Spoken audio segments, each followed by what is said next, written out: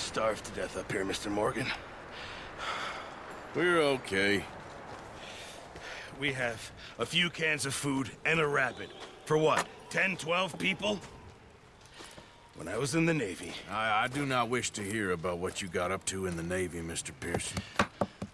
We were stranded at sea for 50 days. And you unfortunately survived.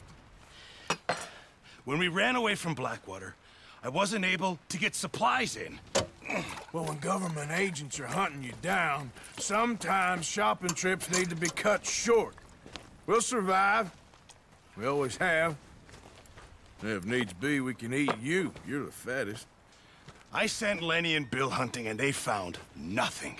Well, Lenny's more into book learning than hunting. Bill's a fool. Unless those mountains are full of game that want to read, ain't no wonder they found Enough of this. We'll go find something. Come on, Arthur. Wait a second. Hold on. Here. You're gonna need something to eat out there. Assorted, salted offal. Starving will be preferable. Come on, let's go. You can't go hunting. Look at your hand. I can't stay here listening to you two. Look, if there's game in those hills, I'll find it. And you can kill it. You need to rest, Charles. You think this is rest? Come along.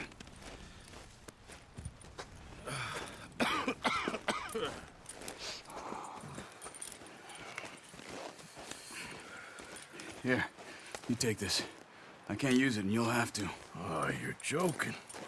Use a gun, and we'll scare off every animal for miles around. You're never too old to learn, I imagine. Come on, this way.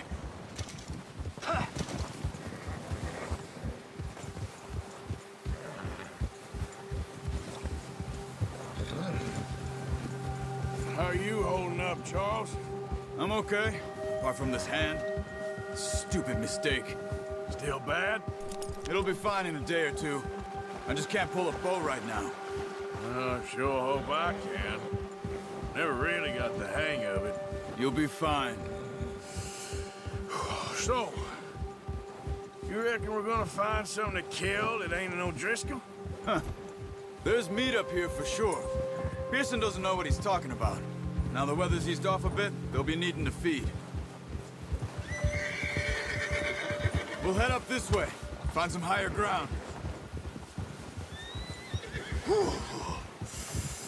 Been a wild few days, all right. That ride north from Blackwater, getting stuck in the storm, bringing John back in. You've had a lot put on you. I wish I could have done more. I didn't mean it like that, just a lot to think back on. I still don't really know what happened on that boat. Me neither. Well, Javier told me a bit, but it sure weren't good.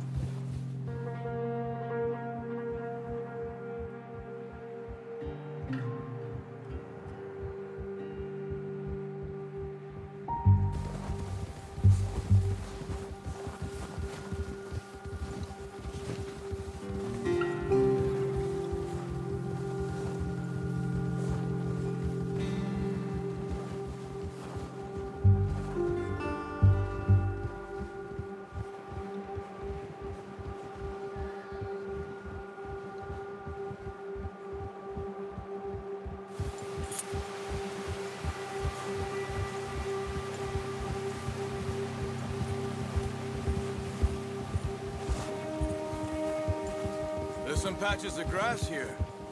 This is good. Let's look down this way.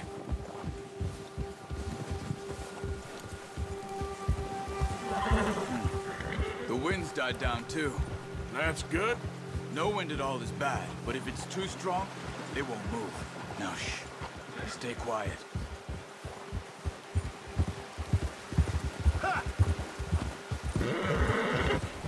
Whoa! Hey, stop here a second. I see something. Careful.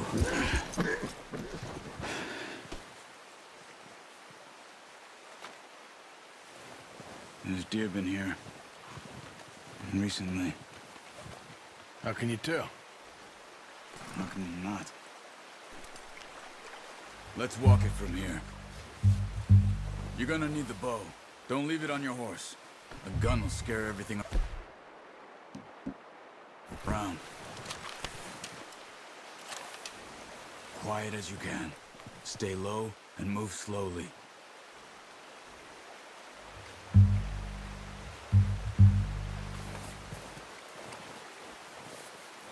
You see the tracks? I think so. Maybe not. Focus.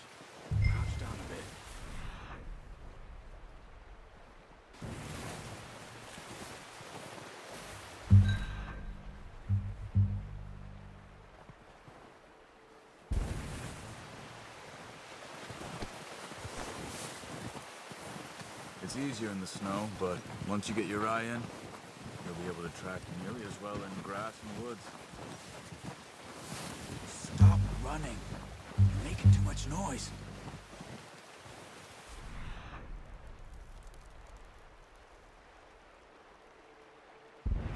Keep low.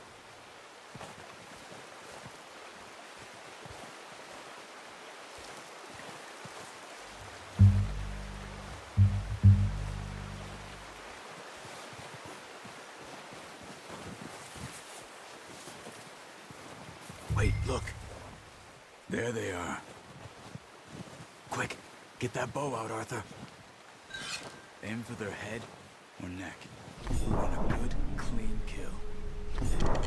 Get good tension on the string before releasing. Just don't overdo it. Take the shot.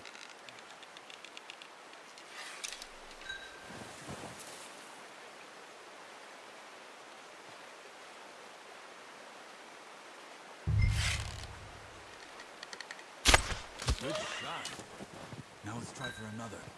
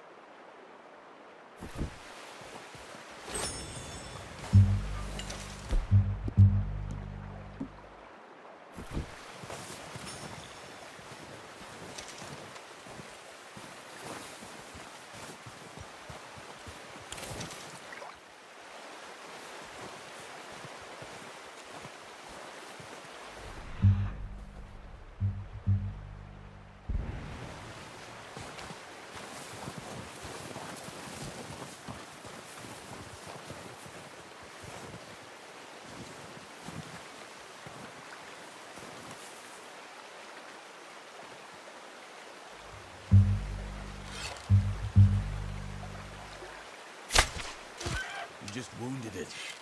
Better go put it out of its misery.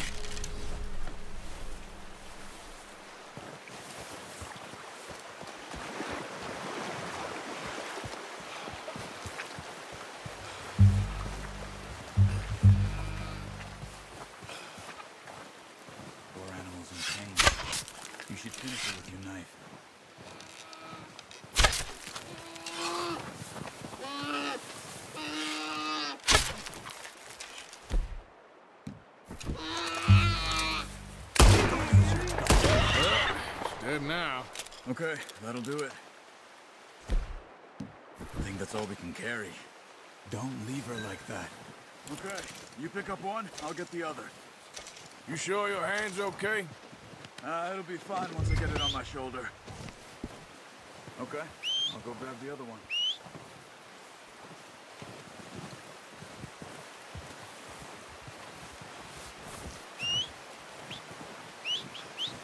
Yep.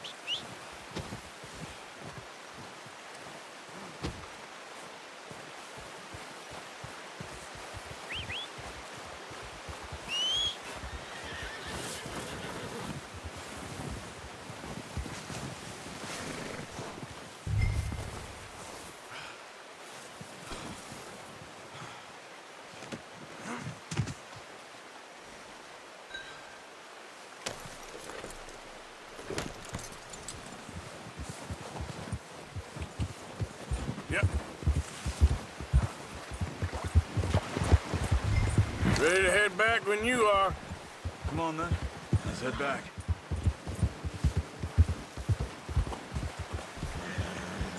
Oh, watch it. Hey! Nice work, Arthur. Should be enough meat here to keep us all fed for a few days. You found him. I knew you'd be okay with that bow. It's easier when they ain't shooting back. We've seen enough of that. Considering how things were looking a couple of days back, well, maybe our luck's finally on the turn. Seems to me we should be putting our effort into getting off this mountain now. Soon. People are still weak, and well, you've seen how snowed in those wagons are. They ain't going nowhere until we get some more thaw. Hmm, You're probably right. And even if we do get off here, what then? We still have a big price on our heads. This is a big country. We'll find somewhere to lie low. Dutch and Hosea will have a plan.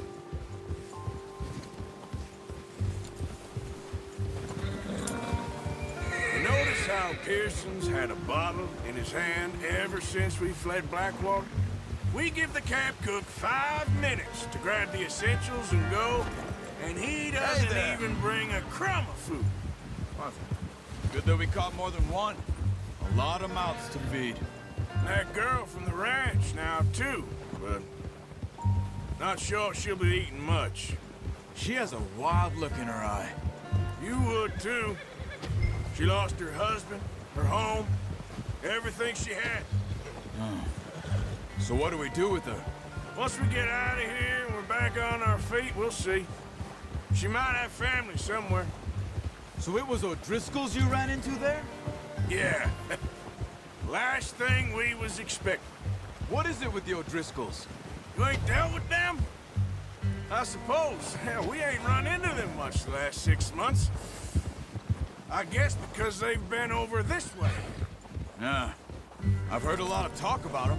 Well, we've been scrapping over scores with them for years. Big gang. Nasty sons of bitches. Their leader, Colm, and Dutch go way back. And not in a good way. A proper blood feud. So I heard.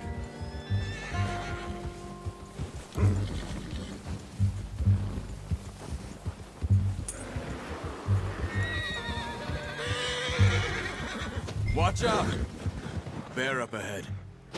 Let's see if we find another way around. You must be real hungry. Stay well back. Spring storms like this are the worst for animals that sleep all winter.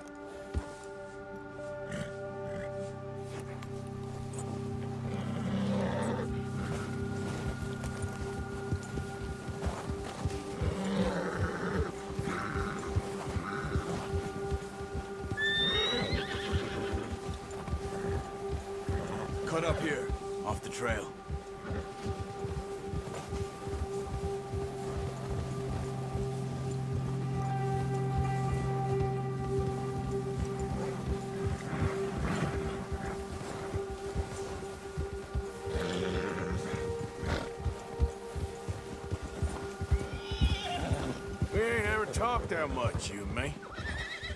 How long you been with us now? Five, six months? Something like that? Bet you didn't expect this. What? Any of this. Blackwater mess. Being up here? Ah, sooner or later, a job's gonna go wrong. Nature of life. I just thought you might have moved on by now. You want me to move on? No. No, not at all. I just... Know you could run it alone, no problem. I did that for a long time. I'm done with it. Always wondering if someone's gonna kill you in your sleep. I still wonder that most nights. I reckon you're okay. This suits me. Sure, I could fall in with another gang, but Dutch... You know... Dutch is different. Oh, yes. Dutch is certainly different. He treats me fair. Most you do. And for a fellow with a black father and an Indian mother, that ain't normally the case. Well, We need you now. More than ever. Good. And how long have you been with these boys? Why ain't you run off? Me? Oh. 20 years, something like that. Since I was a boy. 20 years? Yeah. He taught me to read. John, too. Taught me a few other things, him and Hosea. Huh. I'm sure. Dutch saved me. Saved most of us. That's why we need to stick by him through this. He always sees us right.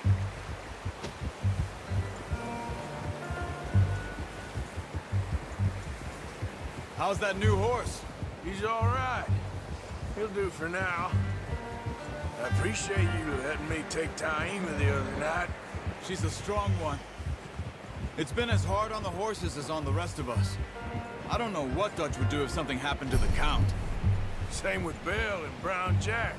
He's a drunk, miserable bastard, but he loves that horse. I hope they all make it. I tried to ride the Count once. Hucked me faster than a bull. Won't take nobody but him.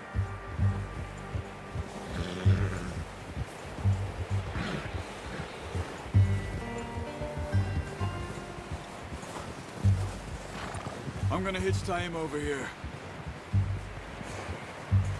Brought some food back, boys!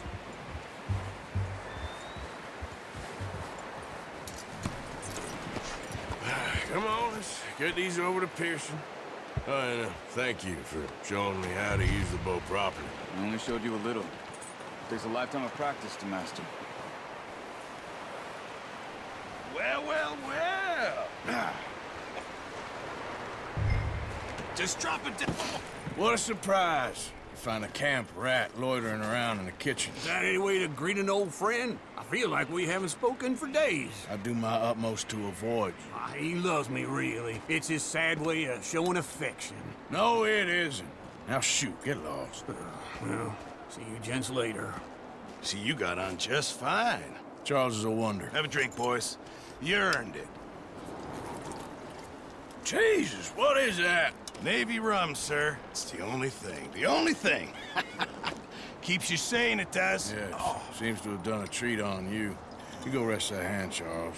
We'll be fine in a few days. You mind helping me with the skinning, Mr. Morgan? It's easier if we do it together. Do I get to skin you? You're always one with the jokes, aren't you? Come on. This really isn't a job for a man with a burnt hand. I'll see you both later. You skin that one that you dumped on the floor there.